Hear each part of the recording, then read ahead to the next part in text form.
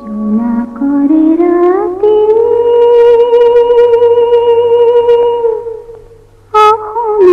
মাটি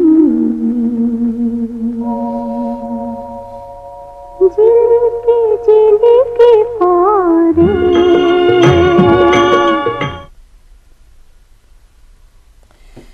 বাতৰিলৈ স্বাগতম ষ্টুডিঅ'ত মই পাপৰি। আৰু অৱসান ঘটিল ভাৰতীয় সংগীত জগতৰ স্বৰ্ণীল অধ্যায়ৰ। সুদীৰ্ঘ সত্তৰ বছৰ ধৰি ভাৰতীয় সংগীত জগত জীপাল কৰি অহা লতা মংগেশকাৰৰ মৃত্যুৰ লগে লগে উকা হৈ পৰিল ভাৰতৰ সংগীত জগত। বিৰান্নব্বৈ বছৰ বয়সত মুম্বাই ব্ৰিজ কেণ্ডি হাস্পাতালত পুৱা আঠ বাজি বাৰ মিনিটত মৃত্যুক আঁকোৱালি ল'লে ভাৰত কণ্ঠ হিচাপে পৰিচিত লতা মংগেশকাৰে। সমগ্ৰ জীৱন সংগীতৰ নামত উচৰ্গা কৰা লতা মংগেশকাৰে ত্ৰিছ হাজাৰৰো অধিক গীত পৰিৱেশন কৰি এক কিংবদন্তী শিল্পী হিচাপে খ্যাতি অৰ্জন কৰে। বিগত ঊনত্ৰিশ দিন ধৰি চিকিৎসাধীন হৈ থকাৰ পিছত আজি নিয়তিৰ ওচৰত হাৰ মানিলে ভাৰতৰত্ন লতা মংগেশকাৰে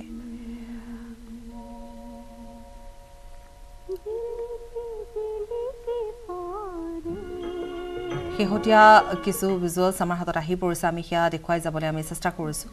আৰু এয়া বাসগৃহত যিহেতু ইতিমধ্যে বাসগৃহত নশ্বৰ দে লৈ অনা হৈছে গতিকে আত্মা কি ভগৱত শৰণাগতি उनके आत्मा के मोक्ष के लिए भगवान से प्रार्थना करता हूँ।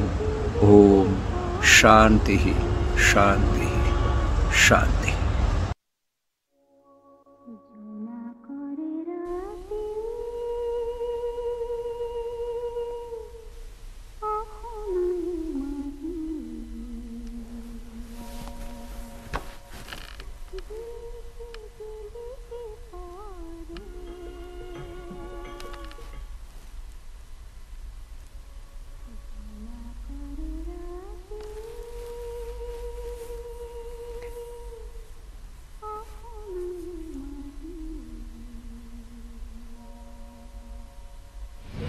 এটা বৰ দুখৰ দিন আমাৰ কাৰণে। আমি আমাৰ ইণ্ডিয়ান সংগীতৰ সাম্ৰাজ্ঞী নেতাজী হেৰুৱাইছোঁ আৰু তেখেতৰ আত্মা চিৰশান্তি লাভ কৰক তাকে কামনা কৰিছোঁ। তেখেতৰ গানসমূহ তেখেতৰ স্মৃতিবিলাক আমি ইমান দিন দেখি আহিছোঁ সৰুৰ পৰা। সেইবিলাক সদায় অমৰ হৈ থাকিব আমাৰ বুকুৰ মাজত। আৰু তেখেতৰ গানৰ মাজেৰে আমি তেখেতক তেখেতক জীয়াই ৰাখিম।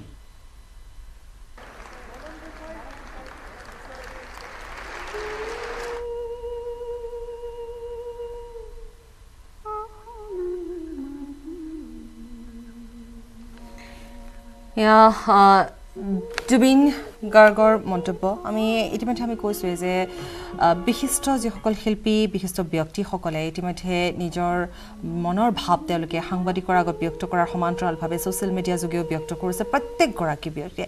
সাধাৰণ হওক অসাধাৰণ হওক প্ৰত্যেকগৰাকী ব্যক্তিয়ে আজি ছ'চিয়েল মিডিয়াৰ যোগে তেওঁলোকে শোকবাৰ্তা প্ৰেৰণ কৰিছে।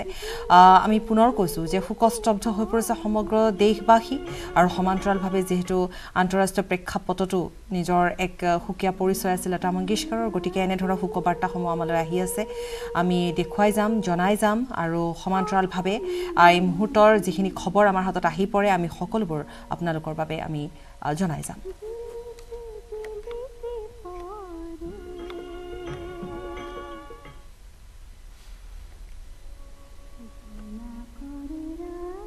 নাই আচলতে ক'বলৈ।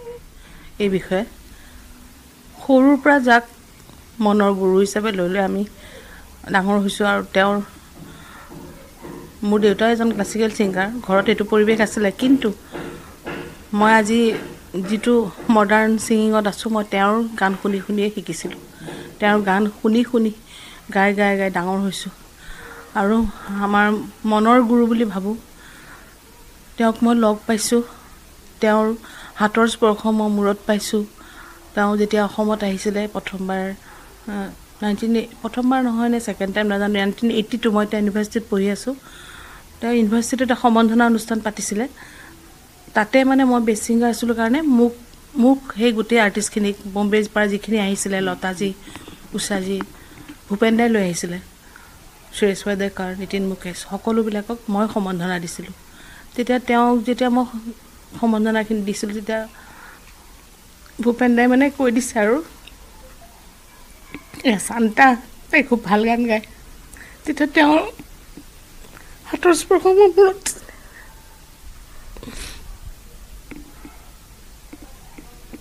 আজিও স্পৰ্শটো অনুভৱ কৰোঁ। তেওঁ য'তেই থাকে শান্তিত থাকক। তেওঁ কেতিয়াও নেহেৰাই মই মনৰ মাজত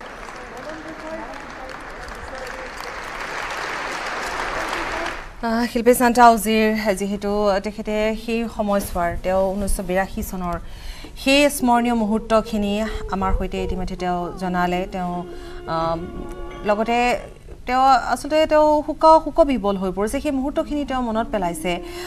এই মুহূৰ্তত আমি ভূপেন উজিৰ ডাঙৰীয়াই তেওঁৰো মনৰ ভাৱ কিছু প্ৰকাশ কৰিছিল অভিজ্ঞতাৰ কথা কৈছিল লতা মংগেশকাৰক সাক্ষাৎ পোৱাৰ সেই সময়খিনিৰ কথা কৈছিল।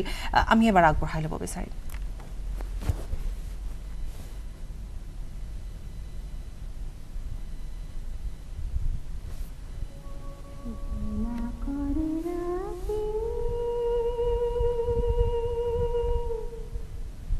সাংঘাতিক দুখ খবৰ যে আমি লতাজীক হেৰুৱাইছোঁ তেখেত অকল ভাৰতবৰ্ষ নহয় গোটেই বিশ্বৰ বাবে এক অতুলনীয় ক্ষতি আচলতে আমাৰ বাবে।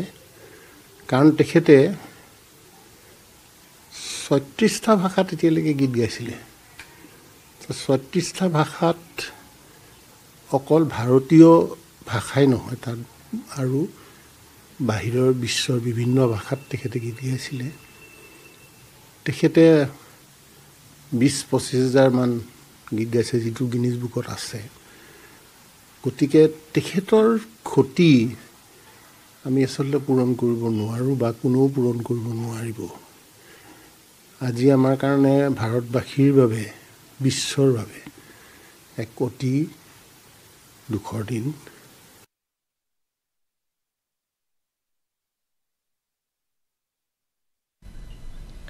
ভূপেন হাজৰিৰ ডাঙৰীয়াই ইতিমধ্যে তেওঁ সেই মুহূৰ্তৰ কথাখিনি কৈছে আৰু লগতে তেওঁ আচলতে বহুখিনি কথাই তেওঁ ব্যক্ত কৰিছিল। আমি বিগত সময়ছোৱাত দেখুৱাইছিলোঁ অভিজ্ঞতাৰ কথা কৈছিল কেনেকৈ সেই সময়ছোৱাত সাক্ষাৎ পাইছিল।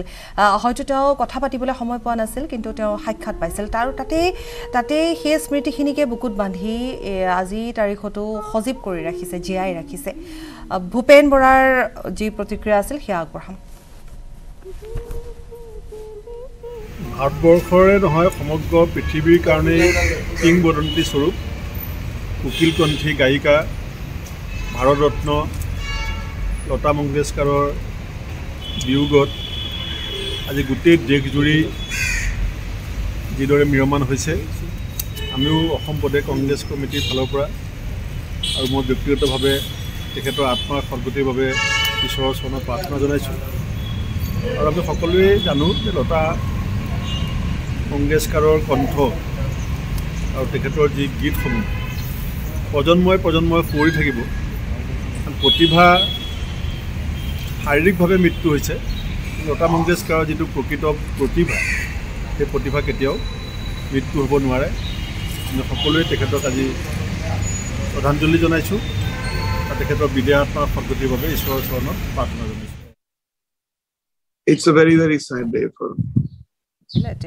progress. When people live, they take it for granted. And somebody like Lataji is not just just a singer, not just an icon. I think part of a soul, part of a consciousness of India, Indianness, Hindustani music, Urdu poetry, Hindi poetry, Bengali, and so many other languages she sang. And this void is going to remain forever for all of us. And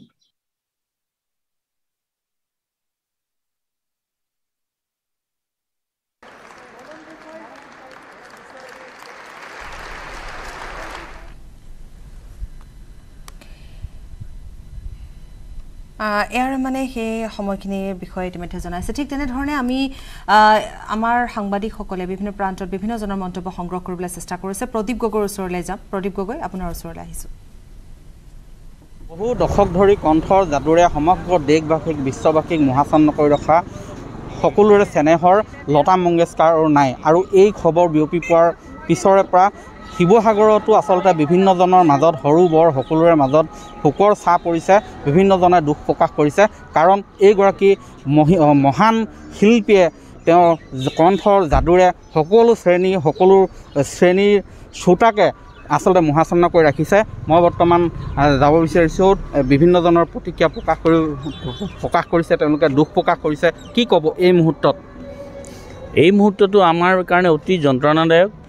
যিগৰাকী লতা মংগেশকাৰ কেৱল ভাৰতবৰ্ষৰ কাৰণে নহয় পৃথিৱীৰ কাৰণে এক কোকিল কণ্ঠ আৰু যিগৰাকী হেৰুৱাই প্ৰতিজন সংগীতপ্ৰেমীয়ে নহয় প্ৰতিজন বিশ্ববাসী মৰ্মাহত হৈছে। আৰু এই মুহূৰ্তত আমি এটা কথাই ক'ম যে লতা মংগেশকাৰ এটা নাম নহয় ই এক সংগীতৰ ধাৰালৈ ৰূপান্তৰিত হৈছে। এই ধাৰাটো আমি অব্যাহত ৰাখিব পৰাৰ ওপৰতে নিৰ্ভৰ কৰিব লতা মংগেশকাৰৰ প্ৰতি আমি প্ৰকৃত মূল্যায়ন কৰিছোঁ নে নাই। বিভিন্ন ভাষাত তেওঁ তেওঁৰ কণ্ঠ নিগৰাইছে। অসমীয়া বোলছবিটো তেওঁৰ এৰাবাটৰ সুৰতো তেওঁ কণ্ঠ নিগৰাইছিল। কি ক'ব এই মুহূৰ্তত? যিসকলে জোনাকৰে ৰাতি সেই গানটো শুনিছে সেইসকলে এই কথাটো আচলতে বুজি পাবলৈ অসুবিধা হয় যে সেয়া এগৰাকী হিন্দী ভাষাৰ গায়িকা আছিল নে অসমীয়া ভাষাৰ গায়িকা আছিল। তেওঁৰ যি কণ্ঠতেই নগওক যি ভাষাতেই নগওক তেওঁ সুৰত আচলতে মানে সৰস্বতী জন্মলাভ আছিল তেওঁৰ সুৰত আচলতে সৰস্বতী অৱগাহন কৰিছিল।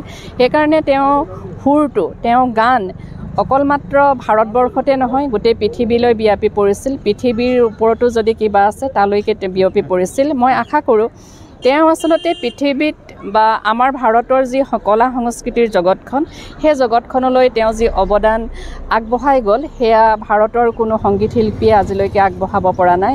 সকলো শিল্পীতকৈ তেওঁ ওপৰত। আৰু মই আশা কৰিম তেওঁ এই সুৰ আৰু কণ্ঠলৈ মহাকালৰ যি আমোঘ আমন্ত্ৰণ সেই আমন্ত্ৰণ তেওঁ ৰক্ষা কৰি গুচি গ'ল আৰু পুনৰ তেওঁ পৃথিৱীৰ বুকুলৈ আহিব সেই সুৰ আৰু কণ্ঠলৈ। কাৰণ লতা মংগেশকাৰ কেতিয়াও মৰিব নোৱাৰে। লতা মংগেশকাৰ ভাৰতৰ প্ৰতিজন মানুহৰ মনত জীয়াই থাকিব আৰু তেওঁ এনেদৰে সংগীতৰ জৰিয়তে তেওঁ অমৰ হৈ থাকিব।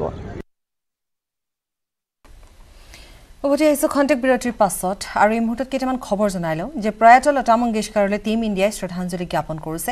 ৰোহিত বাহিনীয়ে শ্ৰদ্ধাঞ্জলি জনাইছে কলা বেজ পৰিধান কৰিব তেওঁলোকে আৰু কলা বেজ পৰিধান কৰি খেলপথাৰত নামিব। ৱেষ্ট ইণ্ডিজৰ বিৰুদ্ধে প্ৰথম এদিনীয়াত বাহুত কলা বেজ পিন্ধি খেলপথাৰত নামিব। টীম ইণ্ডিয়া আৰু এইখিনিতে উল্লেখ কৰিব পাৰি যে যিহেতু ক্ৰিকেটৰ অনুৰাগী আছিল লতা মংগেশকাৰ।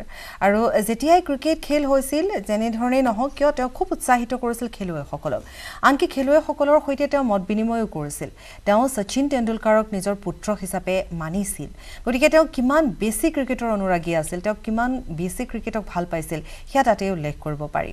তেওঁ পুনৰ এবাৰ এইখিনিতে উল্লেখ কৰিম যে যিহেতু ছ'চিয়েল মিডিয়াত তেওঁ যথেষ্ট সৰব আছিল সক্ৰিয় আছিল বিশেষকৈ টুইট কৰিছিল খুব আৰু এই সময়ছোৱাত খেলুৱৈসকলক তেওঁ যথেষ্ট উৎসাহিত কৰিছিল উৎসাহিত কৰিছিল খেল চাইছিল আৰু সেইবাবে আজিৰ দিনটোত আমি পুনৰ এবাৰ কৈছোঁ যে টীম ইণ্ডিয়াই আজি কলা বেজ পৰিধান কৰিব কলা বেজ পৰিধান কৰি খেলপথাৰত নামিব।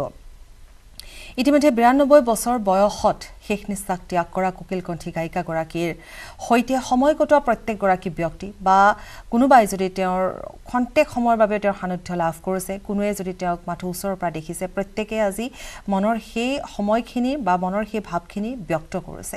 সেই সান্নিধ্যৰ কথা সেই স্মৃতি সজীৱ কৰি ৰাখিছে। কোনোৱে কোনোৱে জনাইছে যে কেতিয়াও এগৰাকী কুকিল কণ্ঠী বা লতা মংগেশকাৰৰ কেতিয়াও মৃত্যু হ'ব নোৱাৰে। তেওঁ পুনৰ জন্ম ল'ব। এনেধৰণে মনৰ ভাৱ ব্যক্ত কৰিছে। যথেষ্ট অনুৰাগী আজিৰ দিনটোত বাসগৃহৰ সন্মুখতো আছে। কিন্তু যিহেতু ক'ভিড প্ৰট'কল গতিকে সুৰক্ষা ব্যৱস্থাও কটকটীয়া কৰি তোলা হৈছে এই মুহূৰ্তলৈকে বাসগৃহত নশ্বৰ দেহ ৰখা হৈছে। আমি এইখিনিতে জনাম যে আজি পুৱা আঠ বাজি বাৰ মিনিটত মাল্টিপল অৰ্গেন ফেইলাৰ হোৱাৰ বাবে কুকিল কণ্ঠী গায়িকাগৰাকীয়ে মৃত্যুক সাৱটি লয়। আৰু কালি যিহেতু যথেষ্ট তেওঁৰ স্বাস্থ্যৰ অৱনতি ঘটিছিল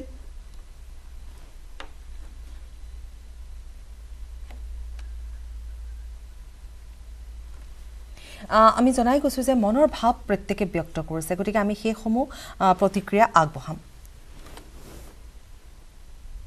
বিশ্ববাসী কন্দুৱাই আজি আমাৰ উকিল কণ্ঠী গায়িকা লতা মংগেশকাৰৰ আজি দেহাৱসান হৈছে। মৰ্মাহত হৈছোঁ। প্ৰাৰ্থনা জনাইছোঁ। পৰম কৰোণাময় ওচৰত তেখেতৰ বিদেহী আত্মাই শান্তি লাভ কৰক। এগৰাকী বিশ্ববৰেণ্য শিল্পী কুকিল কণ্ঠী গায়িকা লতা মংগেশকাৰক তেখেতৰ সাক্ষাৎকাৰ মোৰ লগত তেখেতে কথা পাতিছে। ভালেখিনি সময় কথা পাতিলোঁ। আৰু কথা প্ৰসংগত তেখেতে ক'লে যে অসমখন মই খুব ভাল পাওঁ। ভাৰতবৰ্ষটো মোৰ প্ৰিয়ই। কামাখ্যালৈ দুই তিনিবাৰ গৈছোঁ। আৰু অসমৰ প্ৰাকৃতিক সৌন্দৰ্য দেখি মই অভিভূত হৈছোঁ। আৰু বিশেষকৈ অসমীয়া সংগীত মই খুব ভাল পাওঁ। যেতিয়া মই তেখেতে সুধিলোঁ আপোনাৰ প্ৰিয় সংগীত পৰিচালক? তেখেতে ক'লে দুগৰাকী আছে। এনেই প্ৰত্যেকেই মোৰ প্ৰিয়। দুগৰাকী হ'ল এগৰাকী চলিল চৌধুৰী আৰু ভূপেন দা ভূপেন হাজৰিকা। মই মানে কিমান গৌৰৱ অনুভৱ কৰিছোঁ ভূপেন দাৰ কথা লতা মংগেশকাৰে কৈছে। সঁচাই ভূপেন দা আৰু লতা মংগেশকাৰৰ এটা মানে কাঞ্চন সংযোগ বুলি ক'ব লাগিব।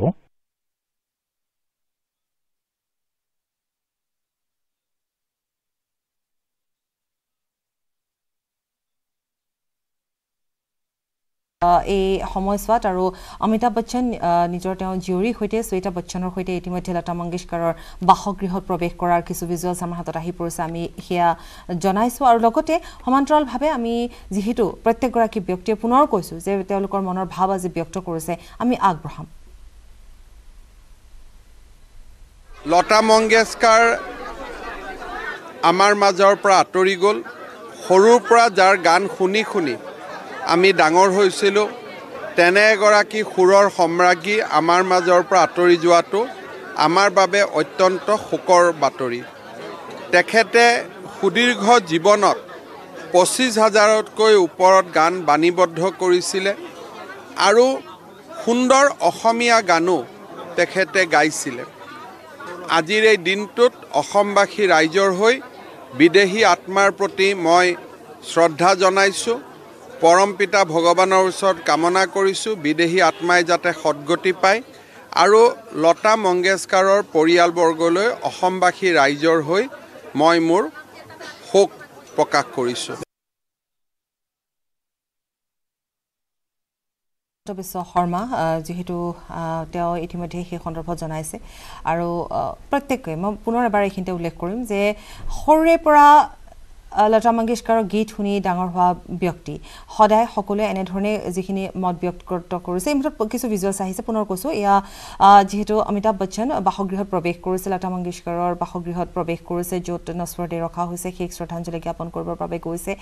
আৰু আজিৰ যি বাৰ চাৰে বাৰ বজাৰ কিছু পিছত যিহেতু ব্ৰেষ্ট কেণ্ডি হাস্পতালৰ পৰা আনি বাসগৃহত ৰখা হৈছে নিৰাপত্তা এনেধৰণে নিৰাপত্তা ব্যৱস্থা গঢ়ি তোলা হৈছে যাতে অন্য কোনো ধৰণৰ বা যিহেতু ক'ভিড প্ৰটকলৰ কথা আছে এইখিনিতে পুনৰ কৰিম উল্লেখ কৰিম যে এগৰাকী এক অনন্য ব্যক্তিত্বৰ অধিকাৰী কেৱল এগৰাকী কুকিল কণ্ঠী বা এক স্বৰ্ণ কণ্ঠৰ অধিকাৰী লিজেণ্ডৰী বুলি নহয় এগৰাকী অনন্য ব্যক্তিত্বৰ অধিকাৰী আছিল। প্ৰত্যেকে আমি এতিয়ালৈকে যিমান সকল যিসকল ব্যক্তিৰ সৈতে কথা পাতিছোঁ কোনোৱে যদি সাক্ষাৎ পাইছে কোনোৱে নাই পোৱা কিন্তু মনৰ যিবোৰ ভাৱ তেওঁলোকে প্ৰকাশ কৰিছে তাত এটা কথাই বুজিব পাৰি যে ইমানেই সাধাৰণভাৱে থাকি তেওঁ ভাল পাইছিল আৰু খুব সুন্দৰকৈ সকলোকে তেওঁ সন্মোহিত কৰিছিল। তেওঁৰ কথা তেওঁৰ হাঁহি এটি হাঁহিৰে তেওঁ সকলোকে সম্ভাষণ জ্ঞাপন কৰিছিল।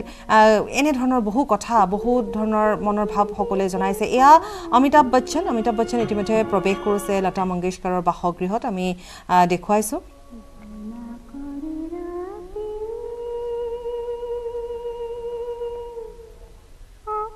অমিতাভ বচ্চনৰ সৈতে জীয়ৰী শ্বেতা বচ্চন আছে আৰু দুয়োগৰাকী প্ৰৱেশ কৰিছে। এনেধৰণে আজি পুৱাৰ ভাগৰে পৰা প্ৰথমতে আমি ব্ৰেষ্ট কেণ্ডি হাস্পতালতো দেখিছিলোঁ যে কেইবাগৰাকীও বিশিষ্ট ব্যক্তি উপস্থিত হৈছিল। আনহাতে অভিনেত্ৰী আছিল শক্তি কাপুৰ ইতিমধ্যে তেওঁৰ জীয়ৰী কালিৰে পৰা কালিও তাত আছিল বুলি কৈছে পত্নীও আছিল। ঠিক তেনেধৰণে অতি চিন্তান্বিত হৈ পৰিছিল শক্তি কাপুৰৰ পত্নী। সম্পৰ্কীয়ও আছিল আৰু খুব খুব ঘনিষ্ঠ আছিল। গতিকে সেই সময়ৰ কথাও আমি জনাই গৈছোঁ আৰু এতিয়াও আমি দেখুৱালোঁ যে অমিতাভ বচ্চন উপস্থিত হৈছে। যিহেতু তেওঁৰ জীয়ৰী গৌৰী শ্বেতা বচ্চনৰ সৈতে উপস্থিত হৈছে। এইখিনিতে আমি আৰু কিছু আলোকচিত্ৰ আপোনালোকক দেখুৱাইছোঁ। যিহেতু আমি বাৰম্বাৰ এটা কথা উল্লেখ কৰিছোঁ যে অসমৰ সৈতে তেওঁৰ এক এক খুব সুন্দৰ সম্পৰ্ক আছিল। আৰু সেই সম্পৰ্ক কেইবাটাও গীতৰ মাজেৰে মজবুত কৰি ৰাখিছিল। খুব সুন্দৰ আমি এটি গীত ইতিমধ্যে আমি শুনো লগাই থৈছোঁ। আমি এই যি গীতটি এই গীতটি সঁচাকৈয়ে এনেধৰণৰ আৰু এটি গীত আছে। গতিকে এই সকলোবোৰ গীত আচলতে এবাৰ দুবাৰ বুলি নহয় প্ৰায়খিনি সময়তে আমি অনুভৱ কৰিব পাৰোঁ প্ৰায়খিনি সময়তে আমি শুনিব পাৰোঁ। জোনা কৰে ৰাতি সমৰে মাতি এটি অতিশয় সুন্দৰ গীত তেওঁ গাই থৈ গৈছে আৰু এইখিনিতে পুনৰ ক'ম যে আহ, লতা মংগেশকাৰ যে নিজৰ মাজতে এক প্ৰতিষ্ঠান এক শিক্ষানুষ্ঠান বুলি এইবাবেই ক'ব পাৰি আহ, কাৰণ হয়তো প্ৰত্যেকগৰাকী শিল্পীয়ে আজি যেতিয়াই তেওঁৰ মনোভাৱ প্ৰকাশ কৰিব এই কথাখিনিকে উল্লেখ की কৰিব जाएगी तो राज्य सरकार ने ये फैसला किया है कि साढ़े तीन के करीब दोपहर दोपहर को कि यहाँ पे उनका जो पार्थिव शरीर है वो यहाँ पे आएगा और हमने एक एयर कंडीशनड कॉफिन का व्यवस्था की है। लोग जो हमारे मान्यवर नागरिक हैं, उनके दर्शन के, अंतिम दर्शन के लिए यहाँ व्यवस्था की गई है। और जो लॉ एंड ऑर्डर का है, कायदा से व्यवस्था है, उसकी पूरी व्यवस्था हमारे माननीय पुलिस कमिश्नर सब कर रहे हैं। और शाम को पौने छः छः बजे के आसपास अपने देश के आदरणीय पंत प्रधान महोदय, वो भी वहाँ पहुँचने वाले हैं। और उनके आने के बाद में सवा छः साढ़े छः के दरमियान यहाँ पे अंतिम विधि कार्यक्रम शुरू होएगा।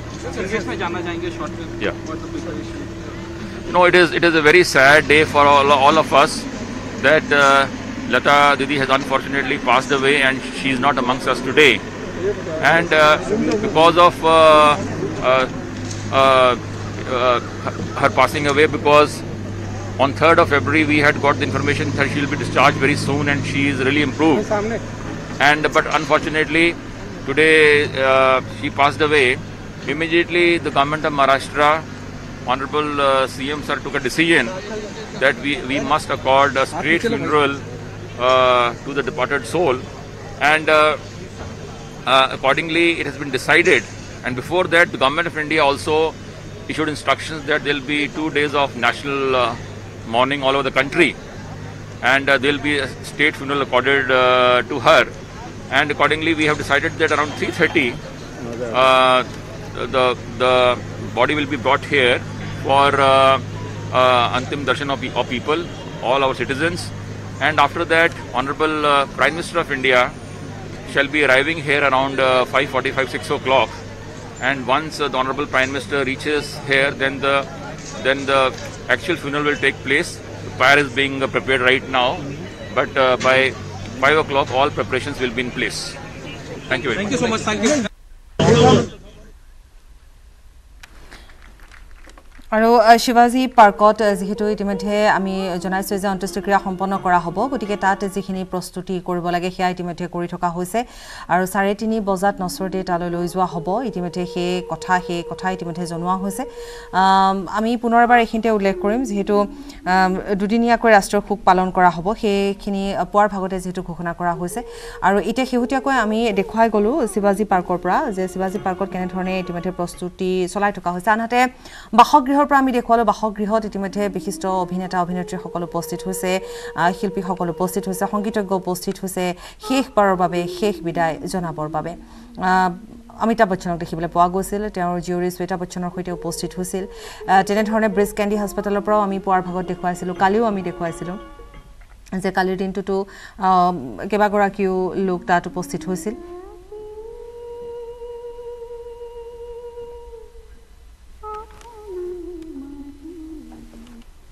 আৰু এই খবৰ আমি অব্যাহত ৰাখিম। সময়টি বিৰতি।